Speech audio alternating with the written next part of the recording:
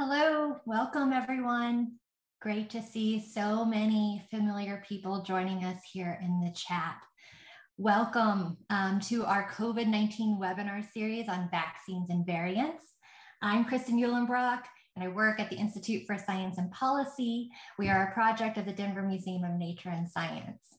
Together with my museum colleagues and our partners at the Colorado School of Public Health, we are really excited that you've joined us today for this redux, this bonus episode back with our COVID um, colleagues. So um, many of you that may know, we did about 30 episodes between April of 2020 and April of 2021 on this topic.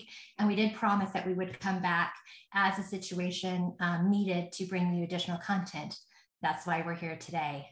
In preparation for today, I did go back and do a little reflection on um, what we heard and what we saw in the previous episode since April of 2020 last year. And it really was striking to see the types of questions we were asking, the science that we knew at the time, and a lot of what we didn't know. And then how much progress has been made till today. As we know, we talk about this a lot. You all know this. Science is absolutely a process. It's meant to be iterative, is meant to explore possibilities, going down wrong turns at times and coming back. That's what makes our scientific understanding so much stronger, more verifiable, more certain. It's because that science by nature is encapsulated uncertainty that really makes this pandemic really, really difficult. I also saw a little bit reflecting back um, on April of this year, 2021, as we were wrapping up this series, that we had some springtime optimism. Vaccines were available, our cases and hospitalizations were way down, um, and we were hopeful and eager for the summer. And now here we are. Um, and to be honest, personally, my optimism is being a little tested right now today. I see death rates and cases really soaring um, definitely a lot among the unvaccinated population. Hospitalizations are also increasing. I was even just sharing um, with Dr. Nuzzo, you know, to make sure I heard this correctly, but our CDC director, I think she said it yesterday, at least that's when I heard it, that the Delta strain is almost two times as more contagious. So where are we in this pandemic? We're in a fourth wave for sure. Um, and as promised, we said we would come back and bring you some more content. So I am thrilled to bring you an episode today that is focused very much on vaccines and variants. We have a great guest joining us today, Dr. Jennifer Nuzzo. Dr. Nuzzo is a senior scholar at the Johns Hopkins Center for Health Security and an associate professor in the Department of Environmental Health and Engineering at the Johns Hopkins Bloomberg School of Public Health. She is also a senior fellow for global health at the Council on Foreign Relations. As an epidemiologist by training, her work focuses on global health security, including a focus on pandemic preparedness, outbreak detection and response, global health systems, and infectious disease. She is extremely accomplished in so many ways. I'm not doing it justice. Uh, she's frequently in the news and media, so you may have seen her there. And I did want to share this one fun fact that as I was reading through her bio, which was she was featured in the Debunking Borat series on Amazon Prime, and then went on to serve as a COVID advisor for the Borat subsequent movie film. So I don't think we're going to get a chance to talk about that today, but I did want to just share that one fun fact about Dr. Nuzzo. Uh, good afternoon, Jennifer. How are you doing today? Thank you so much. Thank you for that introduction. Thanks for having me. It's it's a real honor to join everyone. And um, I'm uh, encouraged that people in the sunny days of August still want to hear about COVID after um, this past time, but happy to have this conversation today. Wonderful. Thank you. We're so glad you're here. So we have about an hour today, folks. Um, Dr. Nuzzo is going to have a little bit of opening remarks and some slides in a presentation, and then we're going to head into Q&A. For those of you that have been here with us before, you kind of know how that works. Um, the chat feature, you can go ahead and open that at ask chat ask questions in that chat at any point throughout today's presentation. We do have a lot of the team on there helping us kind of monitor all those questions that come in. A huge thank you to those who sent questions in advance. I've got those. We're going to try to curate as many as possible and cover a lot of ground today. Uh, but i do going to make the disclaimer and caveat that i'm very sorry in advance that we will most likely not get to all of your great questions. Um, you all are very curious and engaged bunch. So thank you very much for sending those in and with that, I want to stop talking let Dr. Nuzzo have some remarks here, and then we'll head into Q&A. And give me just a second as we all queue up her presentation.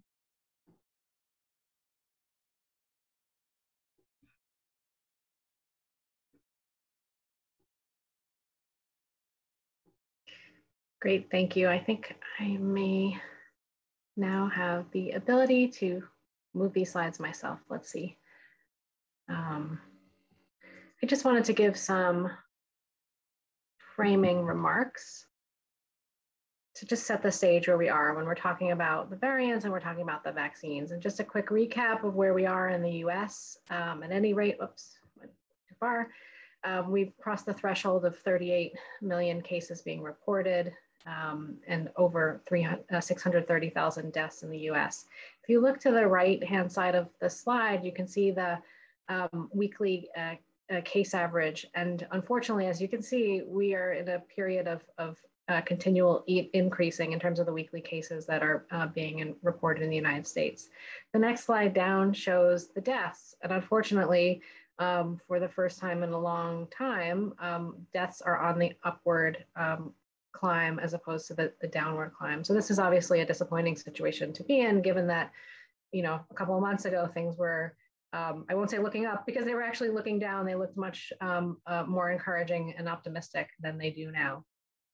Um, just to show you why um, that may be, there seems to be a slight delay in advancing my slide. So I'm just gonna, um, maybe Kristen, if you're able, okay, good. Here's the one I want. Thank you. Great. So unfortunately, the situation that we're in right now is that the US epidemic is worsening in many states. As you can see, the states with the darker colors are the ones where um, the case growth um, is happening uh, much more quickly and, and much more numerous in terms of the number of cases being reported. Um, the purple colors will not be a surprise if you've been paying attention to the news. Certainly Louisiana, Mississippi, Florida, um, Alabama, Georgia, those states are certainly in the news. We're also hearing a lot about um, concerns in, in, in Oregon. Um, conversely, we're hearing less about the Northeast and, and other parts of the country. Um, but as you can see, when you look at this map, um, it's not all quiet in all states. In fact, case numbers are increasing almost everywhere. Um, and part of that is that even within states that have high vaccination coverage, there are still gaps in immunity. There are still pockets of, of uh, people who are not vaccinated, and they remain susceptible um, to outbreaks when, when you have that. Certainly, the states with the lowest vaccination coverage are now seeing the highest number of cases. That seems to be quite clear in the data. But I think it's a warning to all states that when you have um, pockets of immunity, if you have um, you know neighborhoods within counties or even whole counties that are not well vaccinated, that um, you continue to see case increases, unfortunately. And that's clearly what we see here in, in this graph. There's a lot of variation across the country in terms of vaccine uptake. At the state level, we see it, but we also see it within states. And so that's important for interpreting things like how is it that Los Angeles was having a, a, rise in Delta a couple of months ago when you know California on, on balance is one of the higher vaccination states. And at the time when Los Angeles was seeing the, the rise in cases, it had about 60% um, overall vaccination coverage. It's grown since then, which is good that we've seen more vaccine uptake since then. Um, but if you kind of scroll down to the neighborhood level, there were neighborhoods that where the uptake was much, much lower. And people socialize within their neighborhoods, they socialize within their networks. And so if you have susceptibility networks that are susceptible, um, if someone gets infected, they're likely to, to, to spread it to others. Um, the good news is actually vaccination uptake has increased quite a bit since we've seen the, the rise in Delta, um, including in the states that have been hardest hit. So people are, you know, starting to think that being on the fence about vaccines probably isn't working out so well, um, and and we're seeing more people sign up for the vaccine. So so that's encouraging.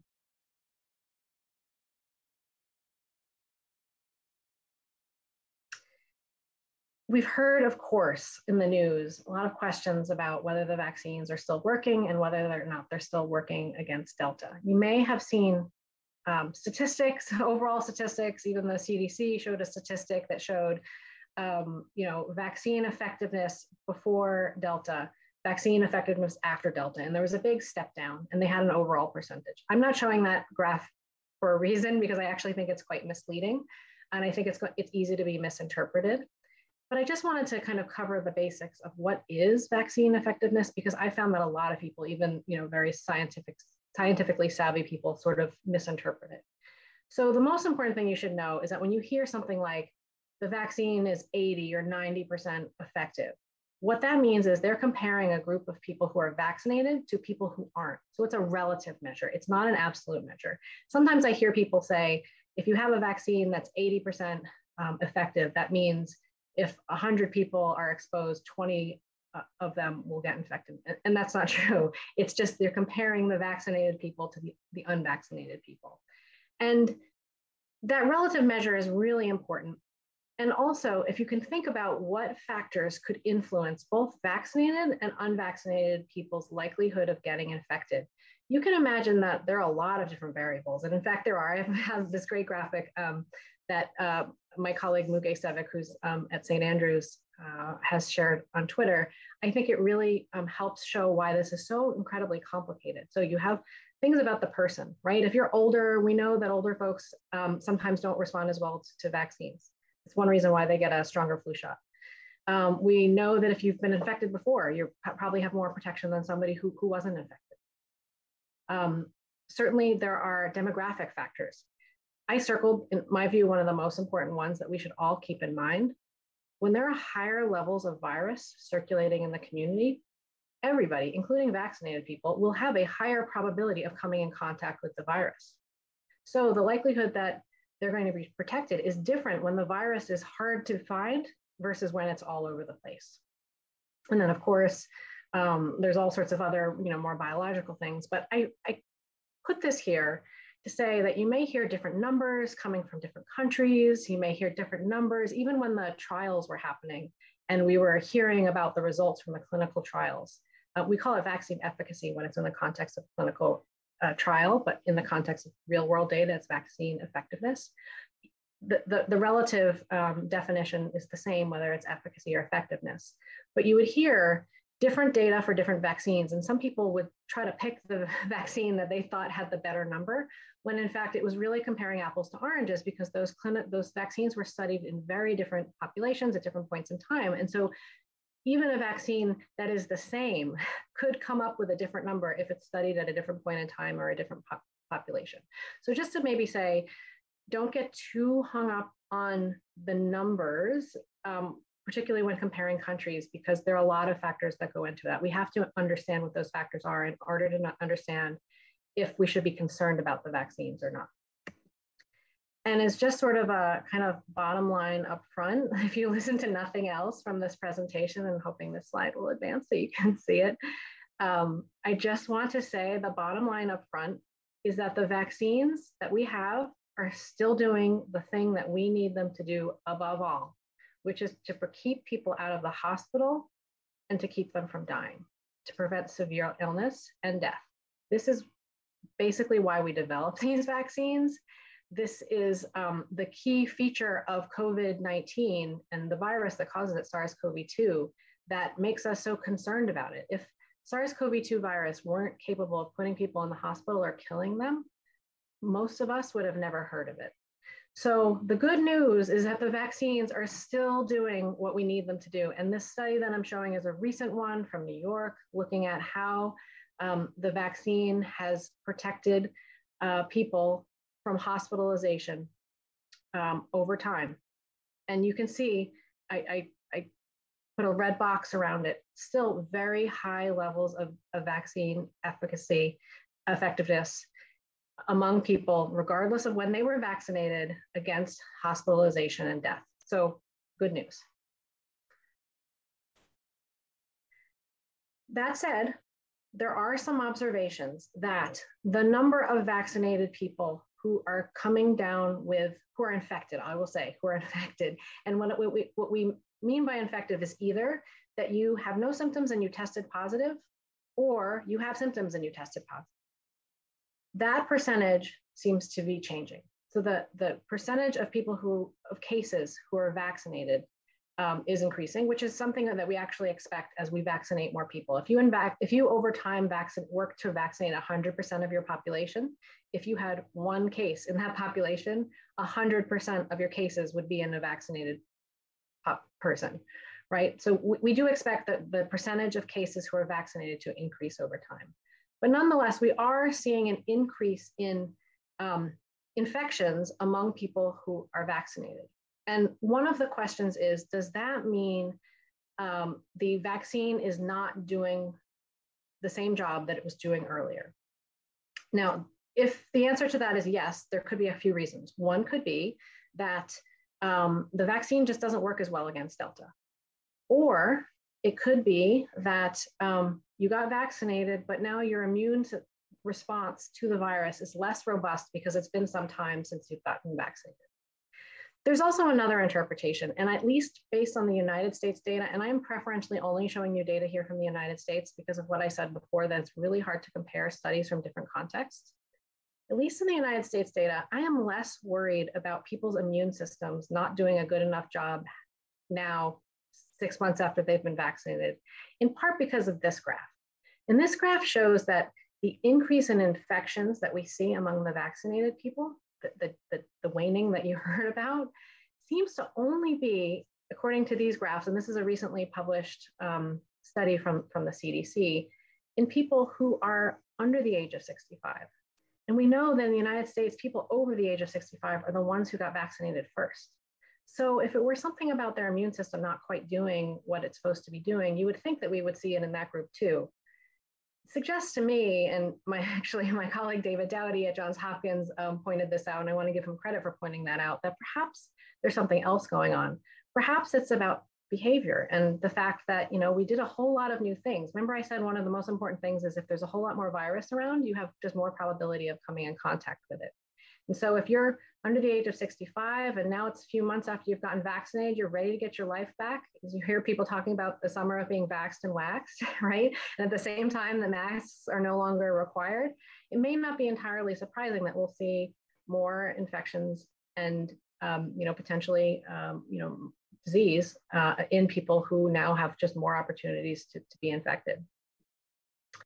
Um, we'll talk a little bit more about that too, but um, and so why could that happen? Well, it's I think important to understand that the immune system has multiple components. And I'm not an immunologist, so you're going to get like the epidemiologist's very high level explanation of, of immunology. But the key takeaways here is that there are your antibodies, and those are usually the things that react first.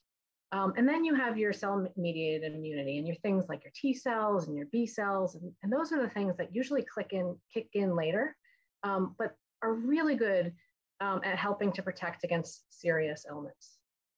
Both of those components of the immune system, all the components of the immune system, um, they're, they're designed, the immune system is designed to ramp up when it sees an intruder and then after the intruder's gone to kind of calm back down. You don't want to be in a state of constantly um, heightened immune response. Um, that would, you know, there's some, some downsides to that. So, um, so, so it's not surprising at any point and particularly the longer it's been since your vaccine, to have your immune um, uh, system, you know, decline, to particularly have your antibodies decline. But the question is, is that a problem? Well, there is some thought if perhaps one of the reasons why we're seeing, we're hearing about more people now um, who are vaccinated getting sick. You know, you probably heard about somebody that you know who was vaccinated but got sick and they felt lousy for a few days that perhaps that is because their antibodies have, have waned a bit. It's possible. I, I don't say think we see a great compelling case for this in the data for healthy people. We certainly see, I think, a very compelling case um, for a need to give additional vaccinations to um, people who are immunocompromised, and that's why those that group has already been, um, you know, approved to receive a third dose. But for the average person, um, what will likely happen is that, you know, if you become exposed to the virus, first of all, no vaccine is a force field. the vaccine doesn't keep the virus, doesn't repel the virus from your body.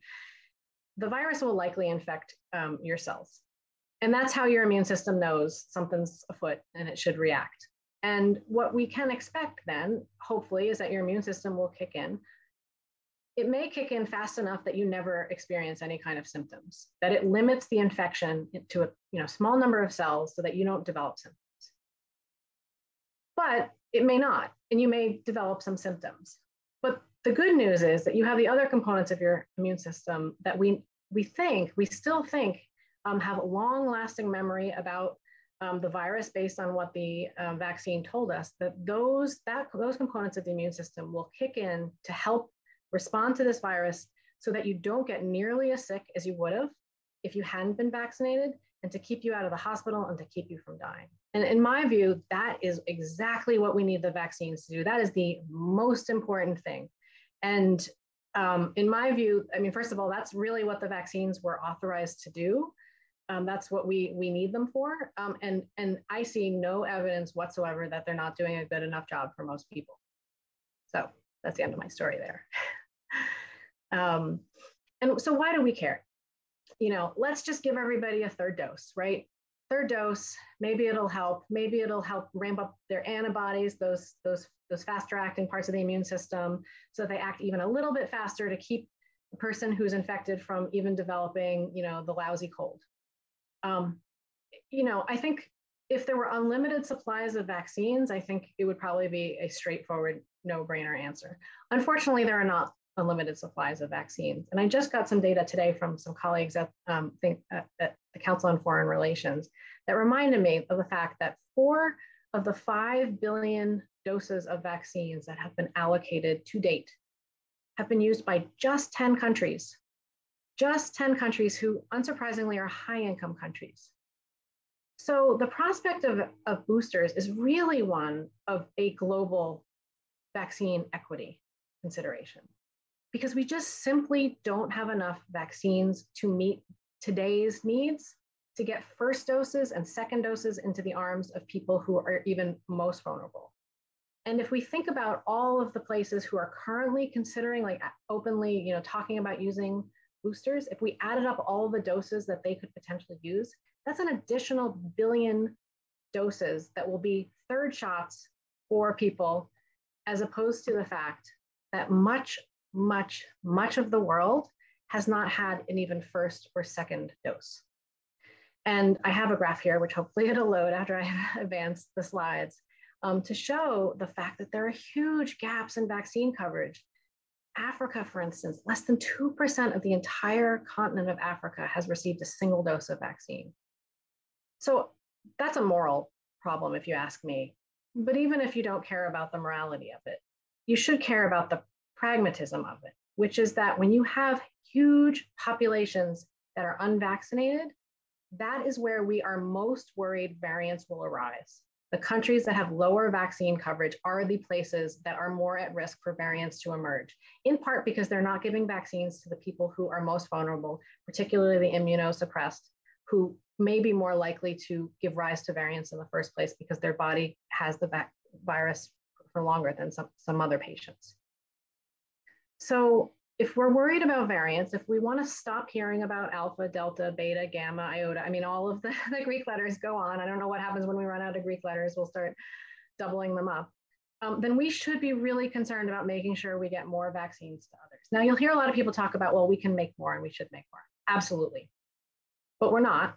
And if we try to right now, which we should be doing, trying to make more right now, it will be years before we do and we don't frankly have that time. So it is actually a really concerning um, question as to how we in the United States can justify um, giving additional vaccines to people who may not need it to keep them out of the hospital or die when other parts of the world are literally dying for a lack of access to any vaccines whatsoever. So I'm pretty much going to end there. And the last slide I had was just to show you sort of where we are in the rest of the world and to remind you in the beginning, I showed you the US case map and where we were. But just to remind you that this is a global pandemic and the rest of the world continues to struggle. What I have seen over the course of this is that even countries that were very good at controlling COVID, you know, we heard for a long time that the US was not doing well, but there are a number of countries that were doing really well. They shut borders, they did all this stuff. Even those countries are really struggling right now to get around Delta. Delta just spreads too fast for many of the measures that we relied upon in the past. And it really speaks to the importance of using vaccines to protect people. So anyway, I'll end there and looking forward to the questions that you have. I've seen a few pop up as I've been talking and I'm eager to jump in. Ah, thank you, Dr. Nuzzo. That was a really great overview. Um, let me, sorry, get give my one second to get situated. You're absolutely right. We've had a lot of great questions. And so I want to pick up on one that came into the chat, which just picks up on a little bit of what you're talking about. And then we'll kind of go back and uh, build off and unpack some more of what you sh- shared. Um, but one of our guests, when we were talking about the moral imperative, or however we want to consider that in regards to global vaccination in different countries, um, the audience member had a question about the overall incidence of the virus, and in essence, of I'm guessing how it spreads, um, and how earlier in the pandemic, Africa was largely spread spared from the spread of COVID. Um, could you talk a little bit about that when it comes to vaccines? So, uh, vaccines are the only way to protect countries now uh, for the long time. I mean, obviously, countries are using other measures, but it's really hard. I think one of the most telling examples of this is Australia. Australia shut its borders um, early it had a very um, aggressive uh, travel restrictions in terms of, you know, severely limiting who could return, even preventing its own citizens from returning, having um, hotel uh, quarantine for two weeks. Um, you know, it, it helped them at various points, but now with Delta, I mean, we have had had Sydney, um, you know, the largest city in Australia under lockdown for seems like months at this point.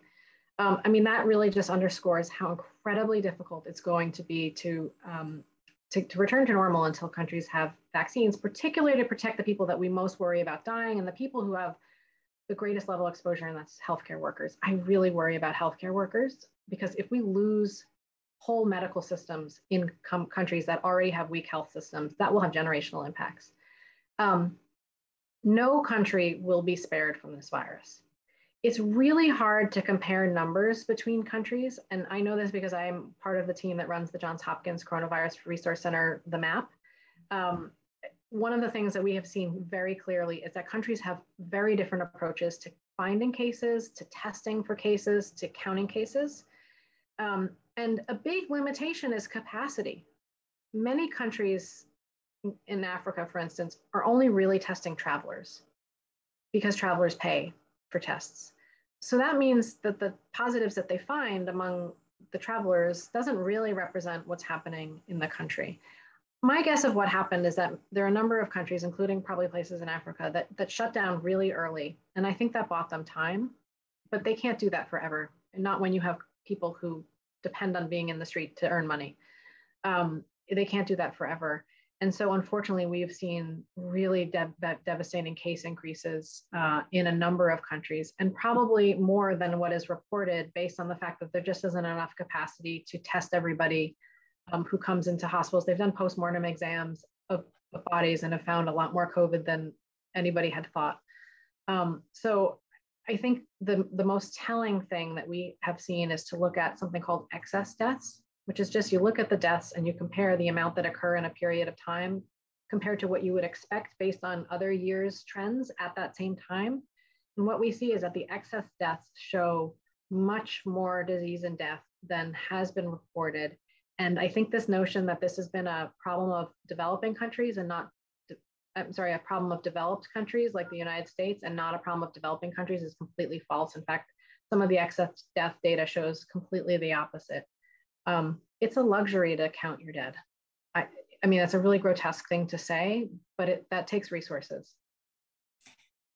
Uh, I remember, I think it was last summer when we had Dr. Peter Hotez on, and um, I think the statistic that he shared during his presentation around at the time was a 10 year horizon of when he thought we could have this kind of large scale global vaccination timeframe, really helping reach um, lower socioeconomic countries. Um, what sort of timeline do you think about that? And then I want you to maybe morph that into thinking about variants and how they develop and evolve and, and some of that potential tension there with the SARS CoV 2.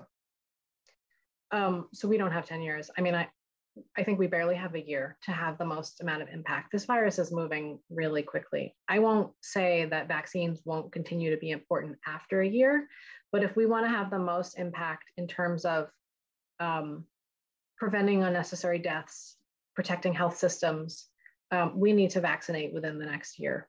and that's why I get so frustrated when I see these vaccine production timelines that stretch into the years because it'll be too little too late.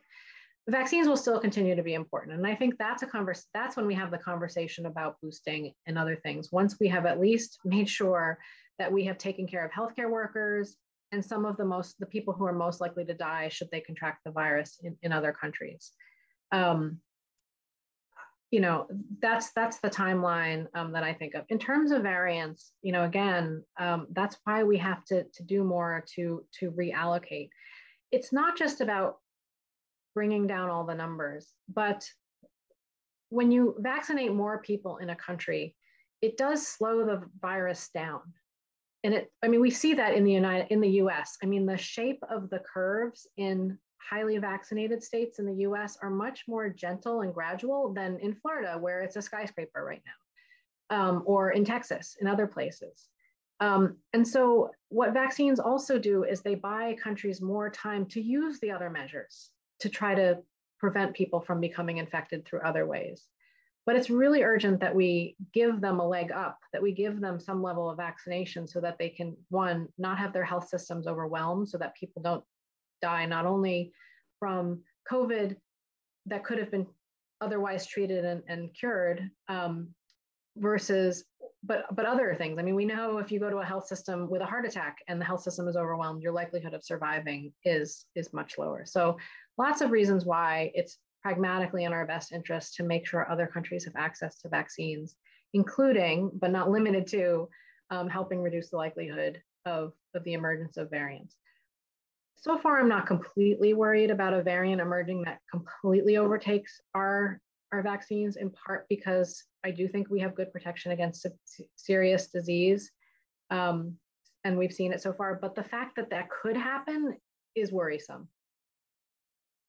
And so the idea of, um, I think there's a term for it, which is kind of the the vaccine induced selection. So is that? Uh, could you elaborate yeah. on that concept and yeah. that idea? that's basically disinformation. Um, we don't think that. I think that came from maybe a misinterpretation of of what happens with antibiotics. Like you know, you heard if you don't take your antibiotics fully, that you could um, select, uh, you know, force the the virus, you know, the the bacteria to find a way around the antibiotics because it's it, you know gets a hit but isn't isn't killed fully. Um, I, I think maybe there was a thought that that the virus, you know, now seeing a vaccinated population can can you know outwit it, but we just haven't seen any evidence of that whatsoever. Um, in fact, we see evidence of the opposite, um, where uh, um, mutations are more likely to occur in places where um, spread remains unchecked. Um, and again, you know, in part because um, you know I do really worry about about immunocompromised people in particular. Thank you. We had a number of questions earlier on when um, you were talking about immunity. I know you're not an immunologist related to those who had the vaccine, um, but yeah. there are a number of questions coming in about people who had COVID and had developed mm-hmm. sort of immunity to that. Could you speak to a little bit about that sort of immunity? Yeah, so I think it's highly likely that if you've had COVID, you have some level of protection. The challenge is we don't know how much. Um, it is possible it's better than we've thought it is. And there was just a preprint that came out yesterday from Israel suggesting that people that had um, people that had prior infection plus one dose of vaccine seem to have the most protection against reinfection as compared with people who had just two doses of vaccine and people who um, had not, you know, no, no, no vaccine. Um, so I think it is likely that you get some protection. But we've also seen people who have had infection be reinfected. So it's probably possible that it's related to how severe of an initial infection you had. And if you had a mild one, perhaps you're not well as protected as if you had a more severe one. Um, you know, I personally, what I take from this is um, one, we shouldn't discount that prior infection causes any level of protection because it clearly does. It's just hard to figure out exactly how much.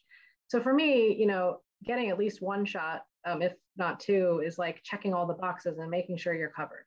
And there's real there, there's no downside to doing that. There's no worry that if you've had the infection and then you get vaccinated, that you're going to have a worse reaction or that you're going to have long COVID. I mean, I've heard a lot of concerns about that. If I had had COVID, I would have not hesitated to go out and get two shots. Now we can argue as scientists whether you need two shots or one, or if you need it at all. But like at this point, not fully knowing, it's it's kind of a gamble. And let me tell you, vaccines are the safer path to protection than infection because you although if you're like a young and healthy person you know statistically you're going to survive your infection. It's hard to know as an individual if you're in the statistical average or if you're on the tails and, and the people the person who's going to die. And so i'm all about thinking of how to you know how do we make our lives easier and kind of minimize the risks and, and worries. And um, getting vaccinated um, it, is very clearly a way to do that.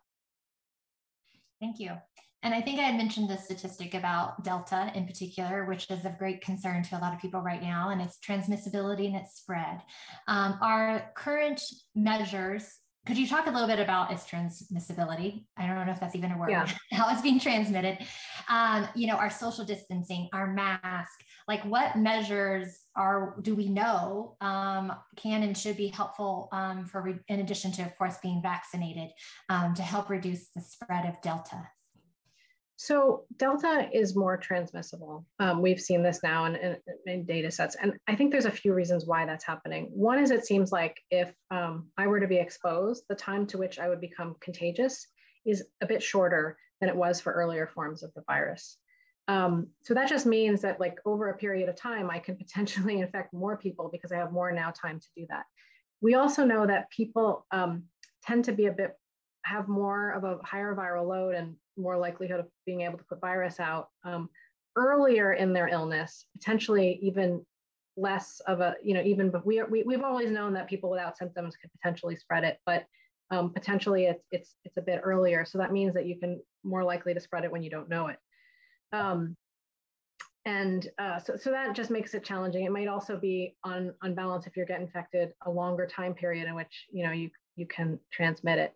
Um, so we are seeing the growth of cases increasing more quickly than we saw with previous versions of the virus. Um, that's just how the virus works, but how we work to stop it has not changed.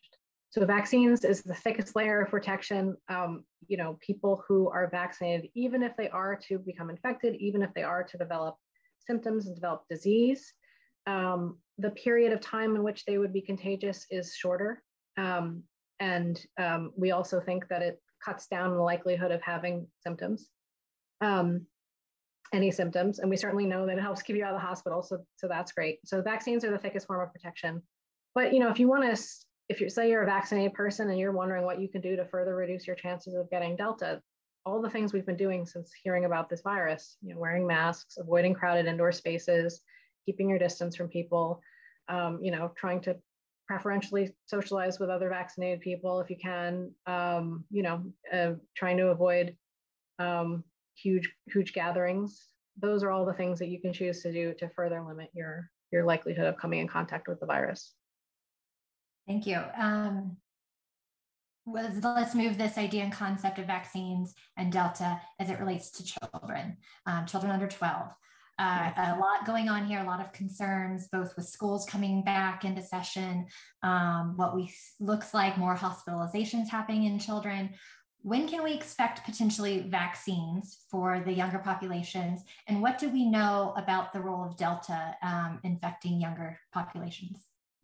Yeah, so this is a really important question for me personally because I've got two kids who are too young to be vaccinated. So I'm, I'm in this boat that many other parents are in. Um, so, what we know about COVID and kids right now is, I would say, relatively unchanged in the sense that um, uh, when the overall number of cases increases, the childhood cases in kids also increase. And the same thing tracks for hospitalizations, right? So, so more cases, you know, some fraction of that will result in, in hospitalizations. Um, there is some question as to whether Delta makes people sicker. Um, I will tell you, I have not seen compelling data on that. Some clinicians who just are seeing patients feel like the answer to that question is yes, others say no. Um, of course, the, the possibility of that makes people worry, um, understandably. Um, the other thing that we see in the, the pediatric COVID case data is that pediatric cases tends to follow adult cases. So if adults get sick, they may spread it to the kids in their lives. And so, if you're a parent and you're wondering what you can do to protect your children who are too um, young to be vaccinated, the most important thing you can do is make sure that all the adults in their lives are vaccinated. And that's why I think you know you're seeing school districts increasingly pushing to have teachers and staff in schools vaccinated because that's an important way to protect children in those settings. Um, and then in terms of protecting children, again, it's the same measures that we've been using, you know, masks and distance and avoiding crowded indoor spaces. Um, you know, since I have children in, in those circumstances, I um, we're all making kind of risk benefit decisions, and our level of risk tolerance um, is all a little bit different. Um, I know for our family, we prioritize risks that we think are beneficial to the health and development of our children. So for that reason, school in, in our minds is, is a very important thing. And if we have to minimize exposures in other settings to, um, you know, just account for the, the, fact that now they're in school and they're going to be around more people than they were um, when they weren't in school, um, you know, we we choose to do that. I personally feel um, comfortable sending my children to school. It's not a zero risk prospect, but I, um, where I live in Maryland, um, the cases aren't as good as they had been earlier, but certainly not as badly, you know, as bad as some other parts of the country. If I'm, we're in a state where the cases were surging and where a governor is res- restricting any level of mitigation in the classroom, I would be a lot more nervous. Thank you. Uh, we've had a lot of news coming out recently, including the Pfizer vaccine getting full approval um, from the emergency use use authorization. We've talked a little bit in past episodes about the EUAs um, and how they were designed. Um, but I'm wondering, you know, how do you, people think about this news and understand EUAs? I know I think Moderna has officially submitted their paperwork is this a paperwork thing or and this is going to move into me asking you a little bit about some of the vaccine hesitancy mm-hmm. that has been attributed to people having concerns about it under an emergency use authorization not full approval so i'm wondering if you could talk a little bit about that and how that leads to how what your thoughts are under on the vaccine hesitancy yeah. population yeah, so I will say it's just starting with the vaccine hesitancy. I've heard from a lot of people who are not yet convinced about vaccines that one of the things that they were waiting for was um, FDA approval of the vaccines. Um, sometimes they were waiting for themselves, but um, probably more frequently, I heard it from parents who were themselves vaccinated but were waiting it for it for their children. The thing I told parents in those situations is that I understand that you know that the idea that there's like another level of, of check I can see why that is reassuring. I just didn't fundamentally expect the facts to change um, by the time approval came, such that I didn't really see the benefit of their waiting. I didn't I just didn't think it was going to change that much. There is a difference for sure, and one of the differences is that full approval is for forever you know? And part of what the negotiations were was about you know how long it could be stored in in, in doctors offices and the refrigerators that they have there. There was a lot of additional review. I won't say that it was there's no difference because there is um, i just didn't think in the, the, for the things that people cared about um, you know is this going to be safer for me right now um, that we, the facts were going to change um, I hope approval makes people more comfortable. It should. I mean, there, I think there's been a really rigorous um, evaluation. One of the reasons why we don't yet have vaccines um, for under 12, I mean, the FDA just went back to Pfizer and said expand your studies and include more children to look for rarer events. I have a lot of colleagues who are pushing for a faster decision on vaccines. Um, I'm not necessarily. I mean, I would love to have a vaccine for my children because it would just eliminate some additional worries. Um, but I think it's really important for parents in particular to understand that the process is happening in a stepwise, um, you know, evidence-based manner. It's not being rushed in any way. Yes, we're in an emergency. Yes, obviously we don't want children to get vaccinated, but the risk-benefit calculation for children is, you can't argue with this, is different than it is for older um, for adults. And so they, there, there is going to be a higher standard of scrutiny um, for pediatric vaccines than there will be for adults, just because the likelihood of severe outcomes is, is much smaller. Um, so I, um, you know, what we are seeing as a big difference is that many employers were waiting for FDA uh, approval before they were going to mandate vaccines, um, including the Department of Defense. Uh, is now um, will be mandating it, and I think that these vaccine mandates um, that we're seeing from employers, I mean, they just keep coming. And I think that that's going to, to change who's vaccinated and who's not. Did you do you have a timeline for the children? For the children? Anything you all are talking about for that? That so what I hear is probably not before the end of the year, like the calendar year. Um, I think the hope was that they would have data by the by September, and that it would be closer. Initially, it would be closer to you know kind of late fall, um, but um, it's probably not till the end of the year. I do also have to say, I don't expect this to happen but it is possible that they won't approve. I mean, I don't, I don't think there's any, I have no evidence to say they're not going to approve it, but I always just say, like, I feel like so many people are just kind of biding time until it happens. And I hope we have the vaccines, but, you know, um, the approval process um, is going to find what it finds. And like I said, the calculation is not quite as straightforward for very young children as it is for even teens. Teens, I think there's a much more compelling risk benefit calculation. Not that there isn't for children, but um, so I think we have to just continue to do what we're going to do and make decisions for our children, hoping that we're going to have a vaccine, but also not completely banking on it. Thank you. I don't um, want to leave people with the impression that we're not going to have a vaccine. I just want to say that um, let's let the science work its way out and and and not push it. Yeah appreciate that. Thank you for sharing um, that perspective. Um, that question comes up a lot, I think, just because of particularly people, you have children yourself, concerns and wanting things to start to feel like they can get them semi back to normal and school's been hard decisions yeah. for this fall. So um, you, I appreciate at one point, I want to talk a little bit about some communication things here. Um, because at one point, you know, one of the questions you, I appreciate you being really clear, like that is misinformation. And, and we talk a lot about misinformation at the Institute.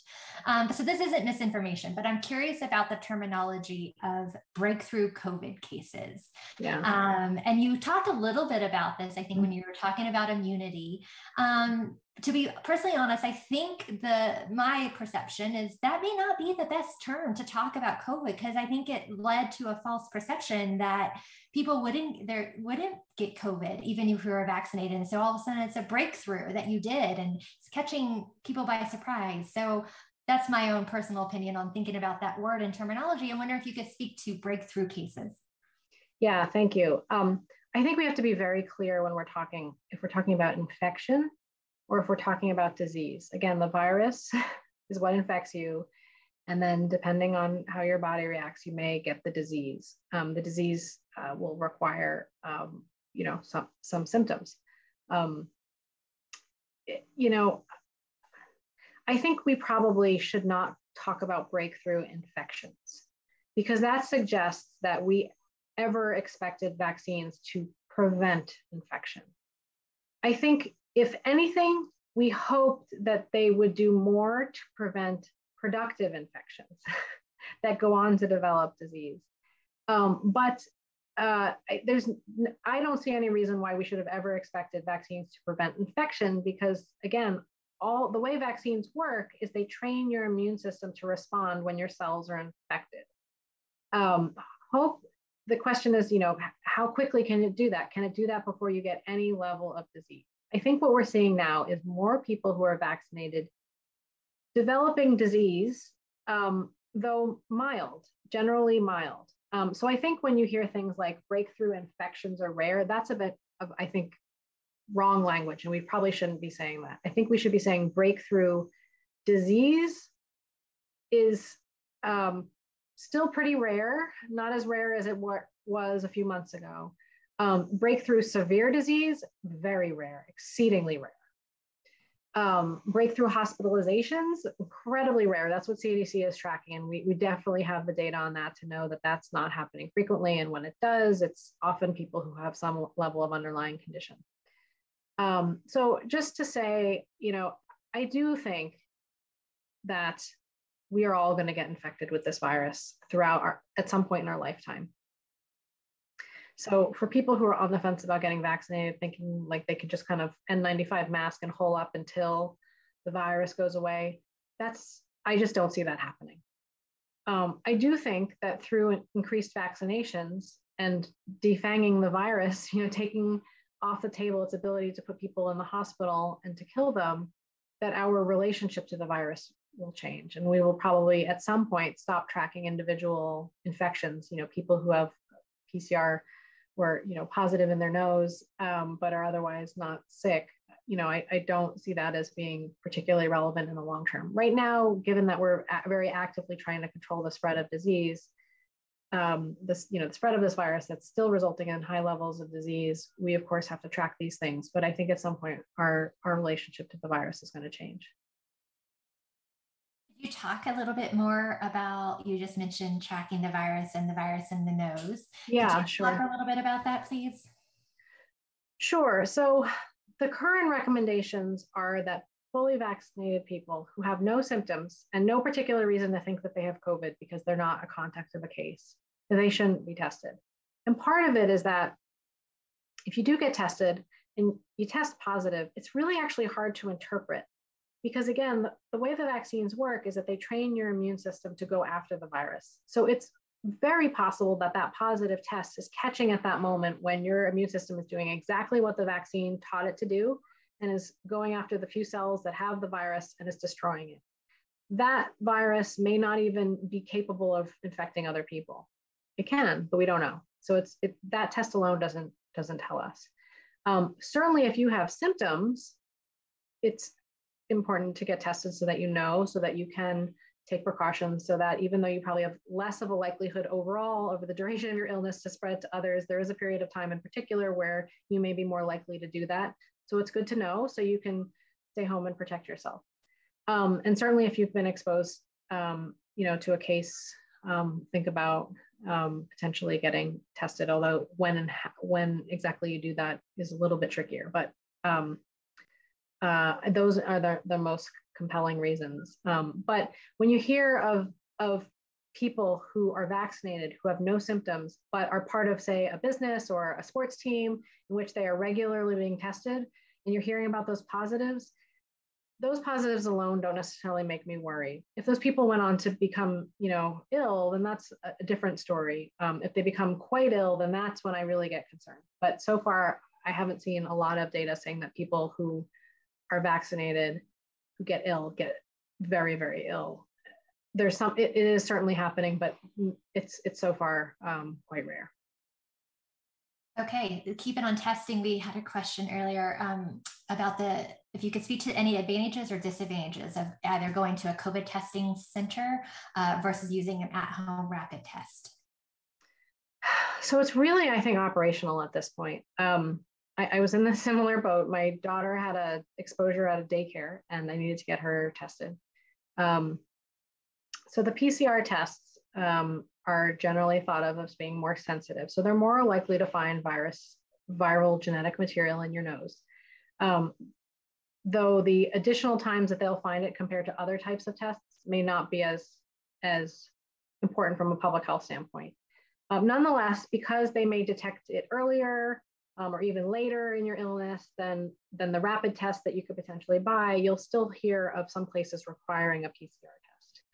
the downsides of PCR are that um, they take time to get those test results back. And in the case of my having to go and get my daughter um, tested, uh, you know, I found out about her daycare exposure six days after it, her last exposure to the infected teacher. Um, so, um, you know, they say between five and seven days you should get tested. And so I wanted to, to get a PCR test um, I probably shouldn't have even bothered because after we got our swab, first of all, it was incredibly hard to find a place that would do it on that day. And I think that's a common story. Um, but when we did find a place, um, they told us that it would be two to five days before we get our test results back. And it wound up being, I think, maybe four days. Um, so the challenge is that the test is only tells you what you were that day. If you get your results four days later, you don't know if those results are still relevant. Um, I think there's some real advantages for the rapid tests. Sure, they may not find um, smaller amounts of virus in your nose um, at the very beginning or the very end of infection, but you can repeat them and you can get the test results in, in 15 minutes. The downside is that you have to pay for the ones that are in, you know, the the, the pharmacies, um, and it's not it's not inexpensive. It's you know the the one that I purchased that we ultimately wound up using was $25 for two tests. Um, I really valued having that, but I know for a lot of people that that's just like, you know, that you're gonna th- you're gonna think about how many times you're gonna use those tests. But there may be circumstances in which you need to do that and you need to get timely test results. So I say whichever testing circumstances work for you based on your condition, um, then that's that's helpful. Great, thank you. Yeah, I was um, at a pharmacy recently and, and, saw all the tests on the background, and the the person um, at the store said we are one of the only pharmacies that have these right now, and she's like, we will very soon have a line of people out the door wanting them, and they were thirty dollars um, for a test. So the, the um, downside from a public health perspective is that those test results don't usually get reported. So if everybody started using those, we wouldn't be counting those cases. Mm-hmm. I, I, have long been worried about that. I'm still worried about it. As someone who, you know, is tracking the, the reported case numbers every day, I'm still worried about it. Um, but if it doesn't, if the alternative is that you don't get test results in a timely enough manner to, to take the public health action, which is what testing is supposed to do in the first place, then I would much rather people get the tests and, you know, stay home when they're supposed to um, than pushing for a test that is just providing test results too late for people to act within the small window of time they have. Great, thank you. We are coming up on our time. I think I'm going to um, give you one short question if possible, and then give you a, a, chance to share some closing thoughts on the future. But um, this question came in about Are there any studies underway to investigate the impacts of mixing and matching different vaccines? There are, and I think um, they're encouraging so far, um, encouraging from a safety perspective, but also potentially in efficacy. And that's one of the questions that people are, people are also asking about if we need third doses. Does it make sense to use the same vaccine that we've had, or wait a bit and maybe boost with something else to train our immune system in a new way? And I think there's some data that suggests that the answer to that might be maybe that's better. And so that's why I think if you hear uh, of people sort of you know pushing back on boosters, it's because we haven't fully figured out if it's if it's necessary, but also how to do it. That said, and maybe this will be my ending comment, is just um, I sketched out global concerns, you know, tensions about, you know, we need to share vaccines with the rest of the world, um, and you know that there are these scientific debates. Um, that can be really overwhelming for individuals. Um, and you know, I will say even earlier um, when we authorized vaccines for teens, I was concerned that we were, you know, one of the first countries to start using in vaccine, and still one of the only countries to use vaccines in a lower risk population. When again, there are very high risk people dying across the world for lack of access. Um, I, well, you can have these debates about policy, which is really what it is, and what we as a nation should be doing in terms of our policies around vaccines that's not on individuals to fix, right? So if your doctor says get the third dose, your refusing it is not going to change the world's circumstances. Um, we can push for our government to do different things, but as individuals, you know, if if if your clinician is recommending something for you, you know, your uh, listen to your clinician, and you, you know, you're not going to solve the world's problems in that office. Thank you um, very much, Dr. Nuzzo. Um, I think that is actually a great note to end on. Um, we talk a lot about the role of policy and where that is. And so there's a lot of questions and people who want to take individual action, um, both for their own health and their own safety, their own communities. Um, but you're absolutely right. The role of leadership and government in making these hard decisions possible is the role of government. So Appreciate that. Thank you so much for your time today. We covered a lot of ground. Um, so I appreciate it. You just took all the questions in, in stride. So thank you for joining us today. Thanks for having me. Take care, That's everybody. Great. All righty. And thank you to all of our guests today. Um, I think you may have saw the slides if you joined early, but I just want to give a sh- quick shout out and plug that the museum is hosting another vaccination clinic.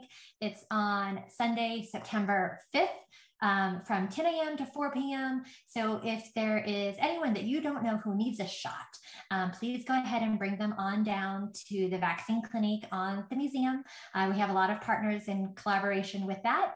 Um, and we'll be giving out family passes uh, to the museum that day for anyone who does uh, get that vaccine dose. Thank you all for joining us. Thanks for your great questions. Um, stay tuned. We'll we have recordings of this already available for those who want to pass it along. I see that Nicole has actually actually dropped links in the chat already. So go ahead and grab that YouTube link if you want to grab this video. It's already available. Send it to more people to watch. Um, stay safe, stay healthy, be kind to one another and your neighbors, um, and do what you can to help slow the spread of this um, COVID 19 pandemic. And hopefully, we'll see you back here again soon, um, but with different news in the very near future. Thanks, everyone, for joining.